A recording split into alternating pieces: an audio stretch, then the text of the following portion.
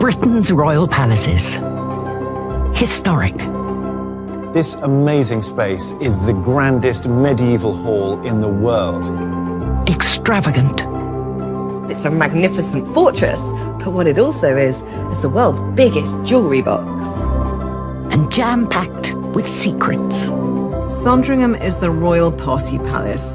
They can do what they want there when they want, and the paparazzi can't photograph them.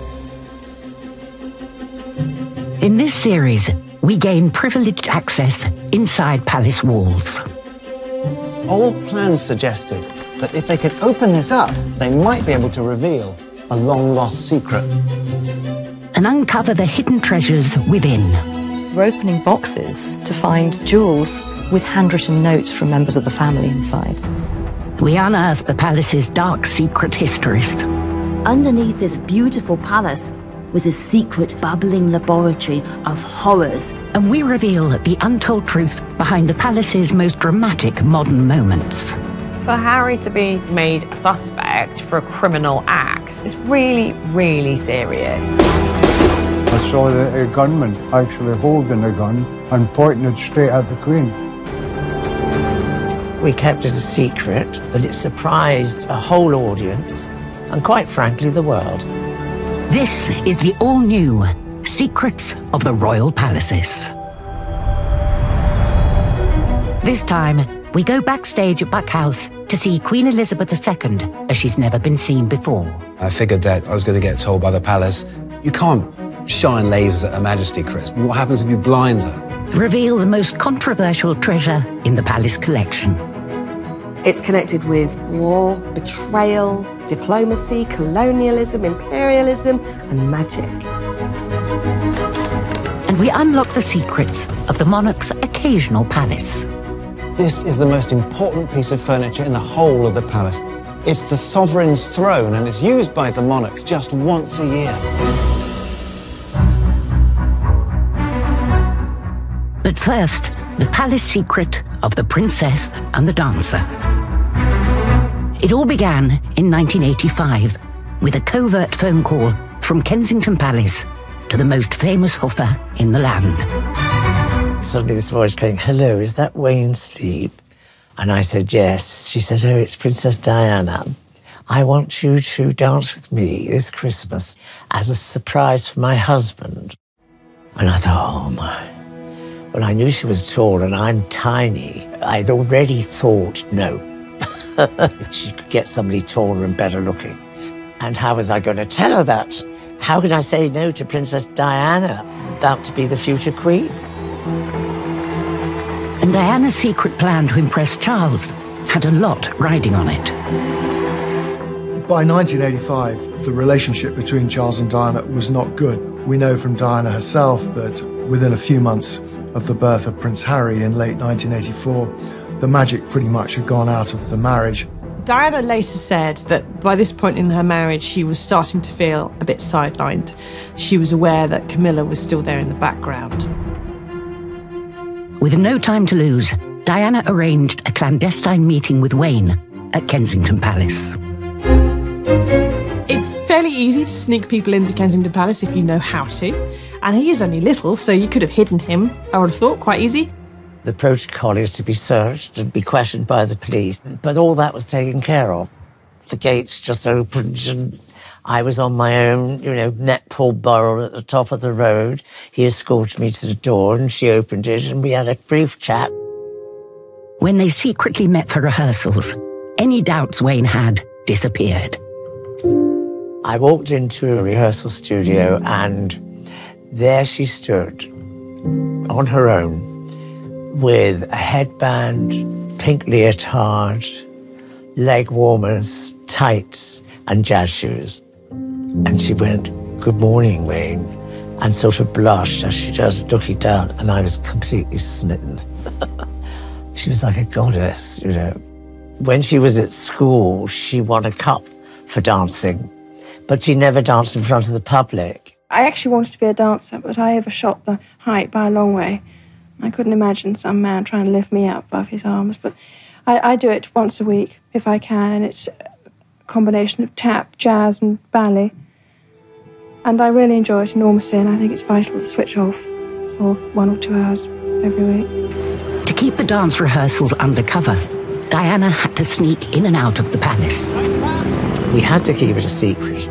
Obviously, if the media or the paparazzi got hold of it, we wouldn't have been able to do it. She knew her husband well enough to know that if she had told him what she was up to, he'd have said, Don't do it. But behind palace doors, Diana did seek a royal sign off. Princess Diana came to me one morning and said, I've just had the royal seal of approval. I said, I thought you weren't going to tell Prince Charles and the others. She said, No, no, I didn't tell them, Wayne. She said, I've just done it for Harry and Will's the dance, and they applauded. After five months of stealth and subterfuge, at last it was showtime. When I came on, I did these big jumps and spins and stuff like that, which they appreciated. So they were already clapping. And I thought, just you wait. Later, we discover how Diana's dance went down with the public and her husband. From secret dances to secret palaces, most palaces advertise their regal status for all to see. But there's one palace you might not think is royal at all. This is popularly called the Houses of Parliament, but its true name is the Palace of Westminster. It was a royal home for centuries. It was the principal royal palace for the English Middle Ages, right up to the reign of Henry VIII. The thing is, it's still owned by the monarch. And one day a year, they remind us that this place is still a royal palace. That day is the state opening of Parliament. One day a year, the monarch makes their way to their occasional palace, entering at the sovereign's entrance wearing the official robes of state and the one kilo imperial crown, before the long slog down the royal gallery built for Queen Victoria. Originally, the design for the Royal Gallery was intended to run right up to the door of the House of Lords. That's a long space for Queen Victoria in full regalia, surrounded by selected dignitaries, to be promenading through. The architects were criticized for putting the monarch too much on display. And so a little antechamber was built where she could take a moment, take a breath, and then continue down the procession route.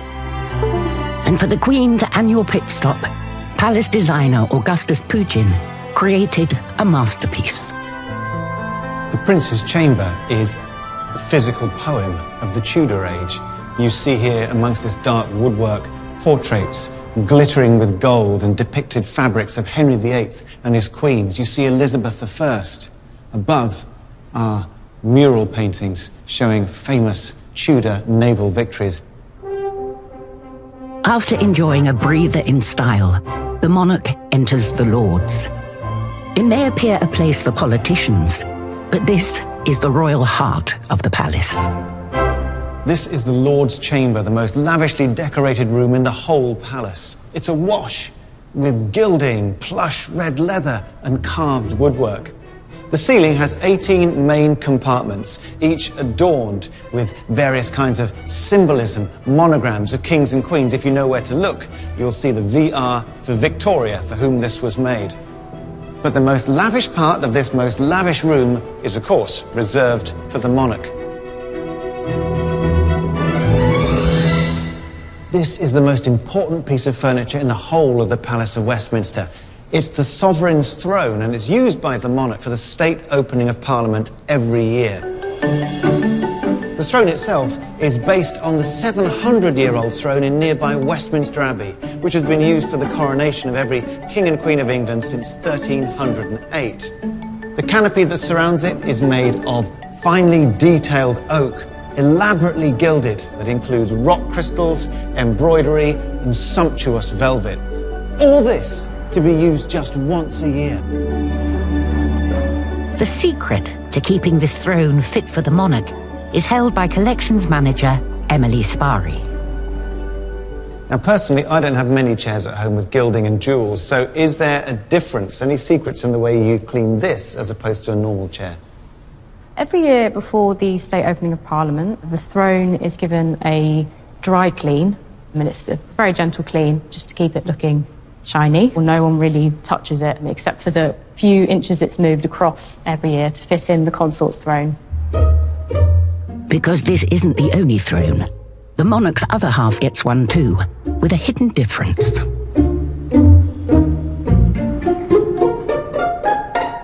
That second throne is just about an inch shorter than the sovereign's throne, and it's almost exactly the same design.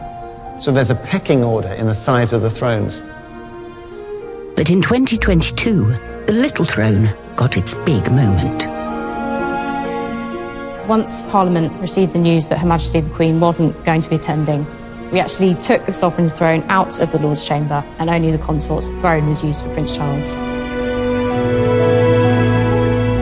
Now, this place may be dominated by politicians, but the throne, even though it's used just once a year, is a constant reminder that the power of Parliament always refers back to the throne. This is a royal palace.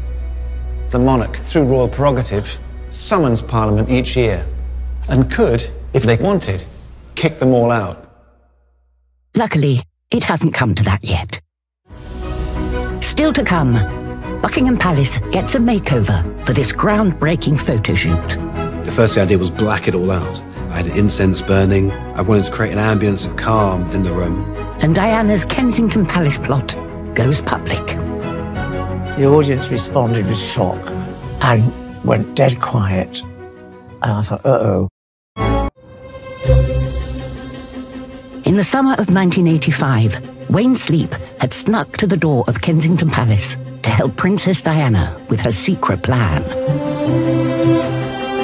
Four months later, and Charles and Diana are leaving the palace, headed for a charity gala at the Royal Opera House. The big night had arrived.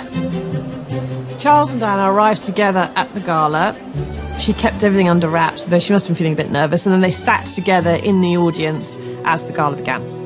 Was this a way to, to try and reignite some of the passion, the magic in the marriage? Yes, I suspect it probably was. As the audience settled in to enjoy the show, Diana watched for her cue. I was going to signal to her when she should leave the box so that she had time to get ready. No one in the audience knew what was about to happen. Diana had just slipped away from Charles's side. She was nervous, but she was determined after all this time. And, you know, the paparazzi not getting hold of it. She'd won this far. She wasn't going to let herself down now. But whilst Diana waited in the wings, Wayne worried. Anything could happen falling shoes falling off, hair falling out, pins going everywhere, maybe a tack on the floor. Anything could go wrong. I thought when the spotlight hit her, she could actually go dizzy because it's a sea of black out there and just a spotlight hitting her eyes. It's like standing on the edge of the world sometimes. And then suddenly, she appears on stage with Wayne Sleep. The audience responded with shock and went dead quiet. And I thought, uh oh. And then the laughter just built quietly and built and built, which was fabulous for us because the more they did it, the more she egged them on. Suddenly she was realizing what performing was like because she'd never performed in front of a public. She was good at high kicks. She was great with her arms. She was good with her look and very still as well. She looked great, of course. And she knew how to stand. She knew she was standing in front of an, of an audience of people who knew about dance. I mean, these were people who patronized the Royal Ballet. There was a lot at risk here. And there was one risky move that had to be done. Well, I thought we should do a lift. she ran to the corner. I ran after her, and she looked at me, and I picked her up, and I thought, God, what if I drop the future Queen of England? And ran her across the stage, you know, and put her down very lightly, and nothing went wrong at all. 2,000 dance fans rose to their feet. And it grew and grew and grew till we got this eight curtain calls and ovation. And she said to him afterwards, Now I know why you do it, because all this curtain calls and the applause and how wonderful that makes you feel. And she said, Let's do it again. I said, No, leave them wanting more. there was only one question mark over the whole performance, and that was who the performance was aimed at, and that was Prince Charles, her husband. What was his reaction? I think he was mildly embarrassed by it. I don't think he particularly thought it was a becoming thing for his wife and a member of the royal family to do. It has always been seen as low class to be on the stage, and especially for women, that was a place where your royal mistresses earned their living, not the royal wives. If Diana had hoped that this was going to provoke some sort of fantastic uh, reconciliation, then it didn't happen. Diana may not have impressed her prince, but her secret plan delighted the public. I think it's brilliant that we kept it a secret, that it surprised a whole audience, and quite frankly, the world. Not all private palace passions are as charming as Diana's love of dance.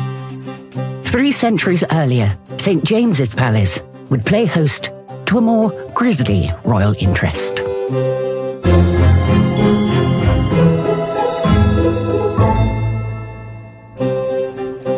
In the 17th century, the king built under St James's Palace in Westminster a secret underground lab, and that was where he engaged in the gruesome practice of skull medicine.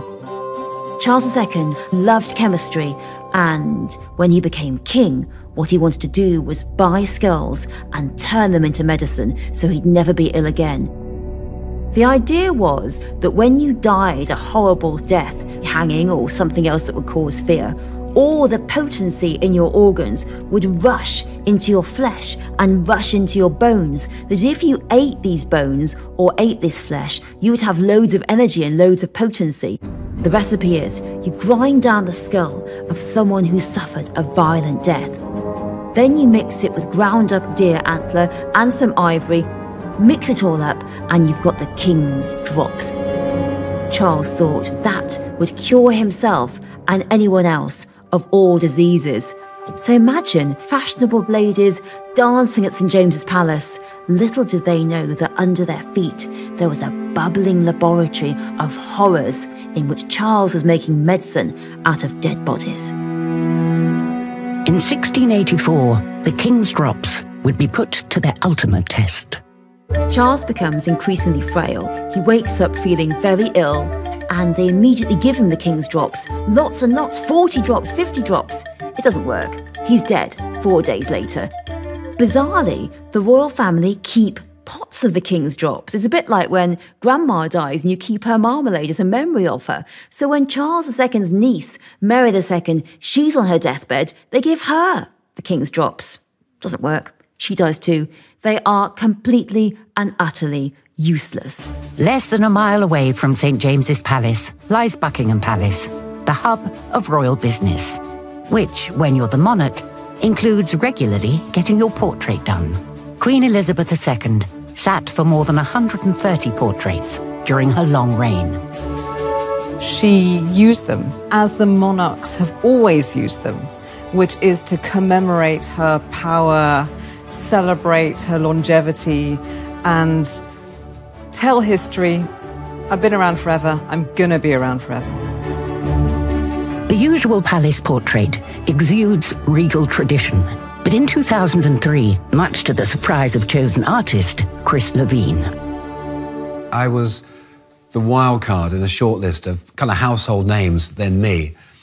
But when I first got the call, I thought it was a friend of mine pulling my leg. I mean, I'd been asked to shoot Indian gurus, and I'd shot rock stars, but the Queen somehow seemed far fetched. I think it was a surprise, actually, that the Queen commissioned someone like Chris Levine, who shot Kate Moss and Grace Jones, you know, all these iconic pop stars. And Chris planned to create a portrait of the Queen like no other. Originally, the idea was to shoot a hologram, a conventional hologram, but that would have meant taking Her Majesty into a laboratory, exposing her under laser light, and I figured that I was going to get told by the palace, you can't shine lasers at Her Majesty, Chris. What happens if you blind her? So Chris selected a method less likely to disable Her Majesty. To make the portrait, we essentially use a camera that moves along a track and takes typically up to about 50 frames. And each one of those frames is a different perspective view of the subject. And then we put them with a computer program all together so you, you read it as 3D. With plans in place, Chris was given a surprise extra task. About a week before the shoot, I got a call from the palace to say, what would I like Mam to wear? And up until that time, I'd been imagining that you know, she's the queen. She'll be wearing what she wants to wear, and I'll create the portrait on the day. And so I got to li literally, you know, hold up you know, one or two dresses and then chose the one because it was a really simple A-line dress. And then we went next door to the Royal Collection to look at the crown jewels. That was mind-blowing. These amazing creations, but I went for what I felt was the most simple, understated. It's the diadem. And it turns out it's a very historic, it's a very important crown. Chris was given the yellow drawing room in Buckingham Palace, traditionally used for portraits because of its abundant natural light. But he promptly turned tradition on its head. The first thing I did was black it all out. I had incense burning. I wanted to create an ambience of calm in the room. The Queen entered what she probably thought was some sort of opium den, but she was down with it because she didn't leave. So maybe she enjoyed the scent of patchouli. When the Queen entered the room, and I could see she was having to process what was going on in the yellow drawing room, unlike anything that's happened in there before, for sure. I talked to her about my meditation and that I was going off on a retreat very shortly. And you know, she said meditation, her meditations are gardening at Balmoral, which is really lovely. In the blissed out surroundings, the Queen relaxed enough to crack a joke or two. One of the setups I had was a laser scanner that projected patterns onto Her Majesty's face. And my assistant Nina said, Ma'am, it's just like having your passport photo taken. Her Majesty said, one doesn't need a passport. Chris took hundreds of images of the Queen. To select the single official portrait, he headed to Windsor and made his way to Her Majesty's inner sanctum. I could hear the corgis in the distance, so I knew I was getting close. And went into her study where she does the Queen's.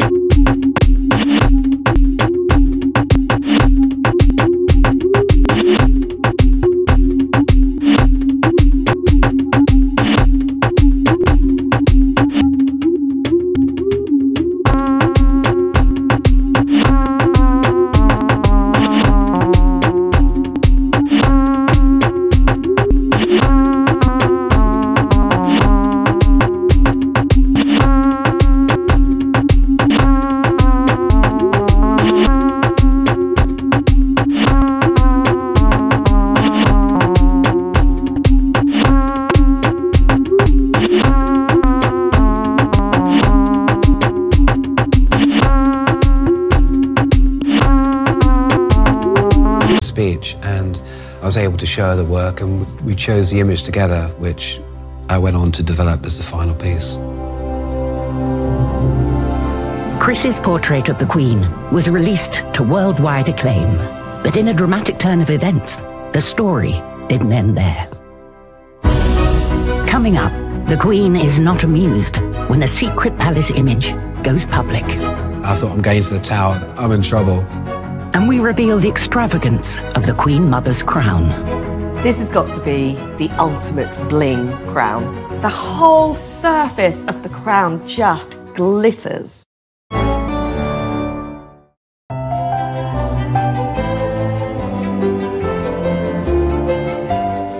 In 2003, Buckingham Palace's yellow drawing room was transformed like never before for the creation of a royal hologram. But unbeknownst to either Queen or photographer, the photo shoot held a stunning secret. Some years later, I was going through my hard drive and I saw the image with the Queen with her eyes closed. And I remember that moment because there was a lot of light onto Her Majesty, and I asked if she'd like to rest in between shots. And she closed her eyes. Chris Levine's photograph of the Queen with her eyes closed is so chic, it could almost be in a fashion magazine. It's a private moment. She looks like an old school Hollywood actress, an icon. She looked very, very human. The mask was off. She was at rest. She was relaxed. It's almost like we've caught her in a very, very private moment, but it's also very, very beautiful. Chris named his extraordinary image Lightness of Being, and it was snapped up by the press. But the palace was in the dark. The Daily Telegraph asked if they could put Lightness of Being on the cover of the magazine on Saturday. And I assumed that the Telegraph and the palace would have spoken, everything's cool. And I find out on the Friday night that the Queen, whose favourite read on the Saturday is the, the, Telegraph, didn't know this was coming out. The palace office didn't know this was coming out. The palace was not amused, and Chris was summoned for a secret meeting. And I really thought that was it. I thought I'm going to the tower. That's it. It was all going so well, but I'm in trouble. And we were given a bit of a shakedown. It, it was it was a bit fraught. Days later, Chris received a follow up call from the Queen's personal assistant. Angela Kelly told me that the Queen knew that I created the work with affection. There's no disrespect in this. So it was the intentions were pure, were good, and I was let off. Stories of royal approval and royal censure have been played out in these remarkable buildings for centuries. Some petty, some touching the lives of us all. The royal palaces are the witnesses of the passage of time. They have seen everything, all the major changes. They are the backdrop to our nation's history. None more so than the Palace of Westminster. The building we see today was built in the Victorian age, but hidden within its walls are the remnants of a medieval royal secret. This amazing space is the grandest medieval hall in the world. It was set out at the end of the 11th century by William II, the son of William the Conqueror. And what he created was a hall 240 feet long, 67 feet wide, by far the biggest hall in England, almost certainly the largest in Europe. It was perfect for state ceremonial, occasion, feasts, you name it. There was nothing that could match it. 300 years after it was first built, King Richard II gave the hall its most impressive feature. What makes it such an amazing building is not just the scale, it's the phenomenal self supporting roof. At a span of over 20 meters, it's a design miracle of the Middle Ages. It's called a hammer beam, and the purpose of it is to have projecting horizontal beams from the side walls to minimize the span of the central arch, and in that way, span broader spaces. And what not many people realize, hidden away in the darkness, is that the angels that emerge from this heavenly assembly, their feet still in the clouds, are each pushing forward a shield of King Richard II himself. It's as if the Parliament of Heaven was stamping its approval on the reign of Richard II. The Palace of Westminster is so rich in history and secrets that they are still being uncovered.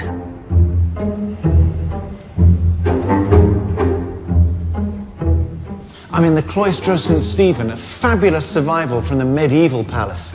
And here, in 2018, as part of the endless restoration of the palace, an extraordinary discovery was made.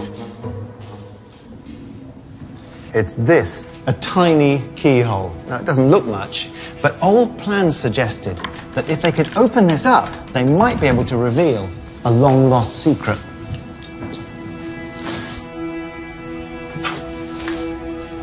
It turns out they discovered an ancient passageway that linked the old Commons chamber through to the Great Hall. Behind this blocked up wall is the Great Hall. Here you can see one, two, three, four iron pintles that show there are two massive doors that once hung here side by side. You wouldn't know about that from the other side. But here, above our heads, you can see ancient timbers. Oak can be dated. And the tree that these oak beams were made from was felled in 1659, just two years before the greatest pageant of royalty this palace had ever seen. The route through this previously hidden tunnel into Westminster Hall was built especially for the coronation of Charles II in 1661, one of the most important royal events of all time. The coronation of Charles II was like no other coronation in English history. Eleven years earlier, his father had been executed, and the monarchy was over. There wasn't any reason to think that there would ever be a coronation in England again. And so when Charles II is crowned and has this huge coronation procession in London, not only is there a sense of great joy and great relief, but a sense of a new beginning for the English monarchy. And the coronation, the grandeur of it, really reflects that.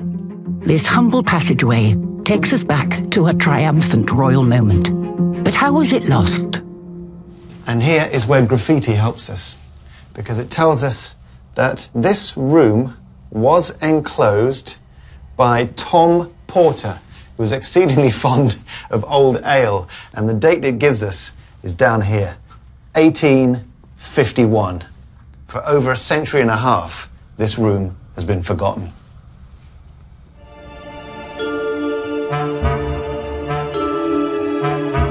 Palaces have long been synonymous with banquets, and none were as famed as Henry VIII at Hampton Court. But much of what Henry actually ate and what it tasted like has long been a mystery. Today, Kate Williams is meeting a pioneering food historian who's been resurrecting lost palace recipes. Hi, Mark. Hello there. Good to see you. Yeah. You're going to be explaining to me the secrets of Henry VIII's table. Something exciting is under here, oh, I oh, yes. think. Let's have a look. What is that? What is that? Have you heard of lampreys?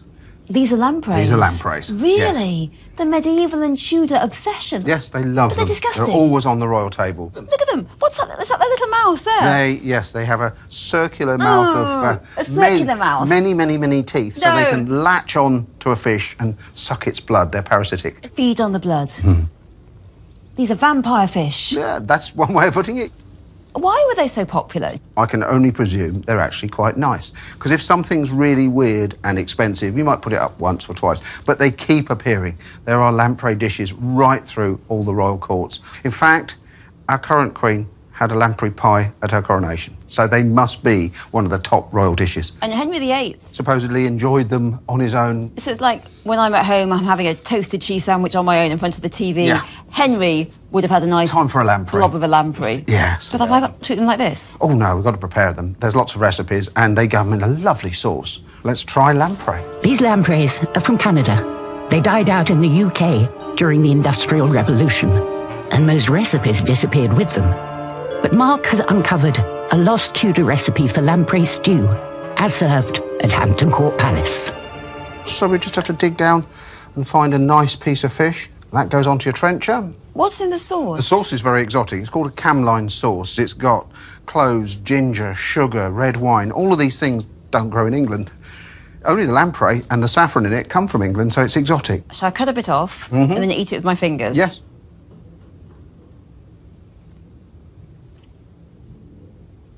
The sauce is really good. I can really taste the red wine. Quite like the fish. It's actually it's actually okay. It's quite a mild fish. It's quite a good meaty, I texture. would have. I like that more than I thought. I like that more than I thought. So I've done a 360. I think they're the most disgusting thing I've ever heard of. And now here I am, just so close to the idea of Henry VIII having his quiet little suppers on his own with his tasty dish of lampreys. Henry had the use of at least 60 royal palaces, including the Tower of London. He used it primarily to store weapons and unwanted wives. Today, its main royal function is as a home for the Queen's jewellery. As jewellery boxes go, the Tower of London is the big one. It has the most incredible array of jewels inside, row after row of these historic pieces that encapsulate so much of Britain's royal history. And perhaps no item contains more stories and secrets than the Queen Mother's crown. This has got to be the ultimate bling crown. For a start, it's the only one belonging to a king or queen that's made entirely of platinum. It has these four arms that curve over the top, and they're attached to fleur de lis. Then there's a purple velvet cap surrounded by ermine. But the thing is with this crown is that it is absolutely plastered in diamonds. There are around 2,800 diamonds on the Queen Mother's crown. The whole surface of the crown just glitters. The crown was created in 1937 for the Queen Mother to wear at the coronation of her husband, George VI. George wanted his queen to stand out, but finding 2,800 diamonds is no easy task. It was time to ransack the peerless royal jewellery collection, as this extraordinary archive film shows. To make this crown, Garrard and Co. were given access and allowed to choose diamonds from various pieces that they could rework into the Queen Mother's crown. He ended up taking some of the diamonds from Queen Victoria's regal circlet. And when you look at that circlet now, you can see that it is somewhat less regal.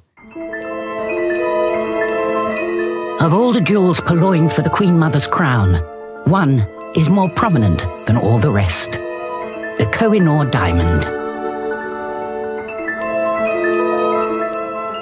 This is one of the most important stones in the whole royal collection. Firstly, it's huge. It weighs in at 106 carats. It is one of the most precious and beautiful diamonds in the royal collection. It's also one of the most controversial. It's connected with war, betrayal, diplomacy, colonialism, imperialism, and magic. And on top of that, it is allegedly cursed. Well, that is if you're a man. Coming up, the dark history of the cursed royal gem. In Hindu legend, any man who owns it will own the world, but will also experience all of its misfortunes. And the gory Holyrood invention that killed on an industrial scale. Now, the maiden is actually flat pack. It's like an IKEA guillotine. This makes death just too easy. It makes it just too simple.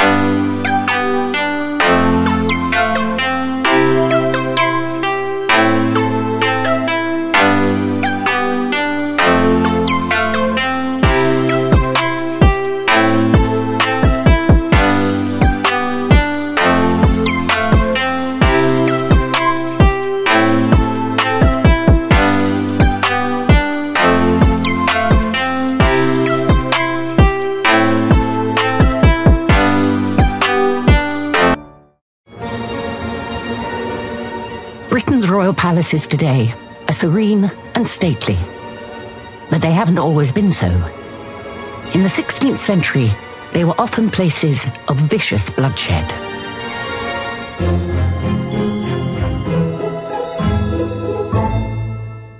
When Mary Queen of Scots came back from France to take her throne in Scotland in 1561, she expected her palace, Holyrood Palace, to be a place of grace and beauty and dignity.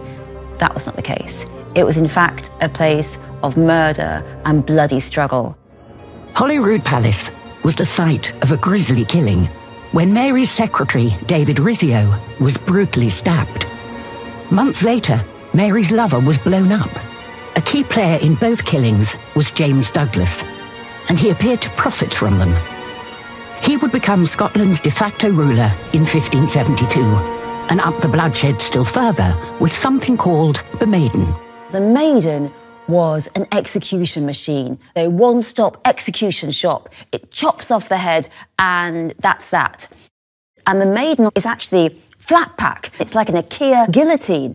This makes death just too easy. It makes it just too simple. And it became a modern public spectacle and claimed 150 victims. James Douglas certainly would end up wishing the maiden didn't exist. He had power, he had glory, he had money, but he also had enemies, and people turned against him. He was put on trial for murder. He was sentenced to death, and you know how he was killed? He was killed by the maiden. So the maiden was what finally caused the death of James Douglas. His corpse remains on the scaffold for the day, and then his head is put on a spike by the toll booth of Edinburgh. Sir James Douglas, 4th Earl Morton, who oversaw so much bloodshed, in the end, he gets his comeuppance. The Tower of London, the finest jewellery box in the world, gives pride of place to the cursed Koh-i-Noor diamond on the Queen Mother's crown. And it's one of the most controversial jewels in the royal collection. Koh-i-Noor literally means the mountain of light, and it was originally mined in India. It's always been said to carry a curse. In Hindu legend, any man who owns it will own the world, but will also experience all of its misfortunes. For centuries, the diamond passed between rulers, often surrounded by bloody turmoil. The first record that we have of the Koh-i-Noor is from 1628. We know then that it was set right in a very prominent position in the utterly splendid peacock throne of Shah Jahan. Shah Jahan's son later had him imprisoned during a coup, and so the diamond changed hands. In 1739, the Iranian ruler, Nader Shah, invades the Mughals, killing tens of thousands, and he steals the diamond. Once again, the curse strikes. He is assassinated in his sleep by 15 of his officers and followers. In 1849, the British managed to get their hands on the stone, and they did this by imprisoning the mother of the last Maharaja. He was 10 years old. They ultimately forced him to sign off all claims to sovereignty and to the Koh-i-Noor. Which is how Queen Victoria got her hands on it. She put it on display at the Great Exhibition in 1851. But the general consensus was that it wasn't that impressive. Instead of calling it the Mountain of Light, one press commentator called it the Mountain of Darkness. So Prince Albert had the diamond recut to give it more facets, more of a sparkle. But in the process, over half the diamond was lost. Queen Victoria then wore this new, stunning, freshly cut diamond as a brooch. Whether the British monarchy heeded the ancient curse of the diamond or not, nobody knows. But it has only been worn by women. And remember, the curse said no man shall wear it. The controversy surrounding the diamond has followed it to this day. Since Indian independence in 1947, the Indian government have made several demands for the Koh-i-Noor to be returned to them, most lately in 2016. The diamond, embedded in the Queen Mother's crown, was last seen on official business at the Queen Mother's funeral in 2002. It was very symbolically and somberly placed on the coffin of the Queen Mother. Since then, it has been on show in the Tower of London, seen by thousands of tourists. But its role within the royal family will continue. It will be used once again when Charles has his coronation and comes king, and his wife, Camilla, will be declared Queen Consort. Then this beautiful platinum and diamond crown will once again sit on the head of a queen. Next time on Secrets of the Royal Palaces, there's panic on the streets of London as a loyal soldier tackles an armed gunman outside Buckingham Palace. This is assassination. He's trying to kill my queen. We go behind the scenes at the Kensington Palace flash sale that caused a sensation. This is an unprecedented sale of a lifetime. Royal possessions being auctioned off. And we reveal Queen Elizabeth II's secret passion for cars. She was probably one of the only royals in the world who can completely strip down a car engine.